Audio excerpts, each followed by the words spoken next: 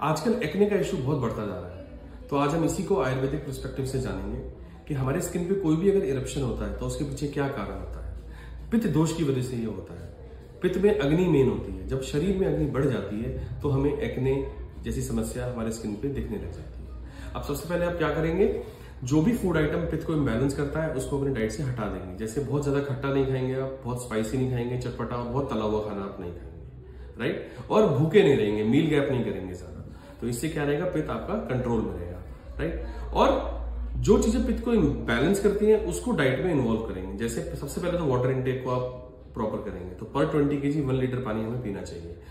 Seasonal जो fruits आ रहे हैं, उन फ्रूट्स का कंजप्शन आप बढ़ा देंगे राइट और कुछ रेमेडीज मैं आपको बता रहा हूँ। तो पहली रेमेडी है, एक तो धनिया रोज पेटल और धागे वाली मिश्री। इसको बराबर क्वांटिटी में लेके आपको ग्राइंड कर लेना है और एक एक चम्मच दिन में दो से तीन बार आप ले लेंगे तो इससे बॉडी का पित्त काफ़ी शांत रहेगा और आपको स्किन में काफ़ी अगर आप इन सब चीज़ों को फॉलो करेंगे तो आप जल्दी एक्ने की समस्या से छुटकारा पा लेंगे। धन्यवाद।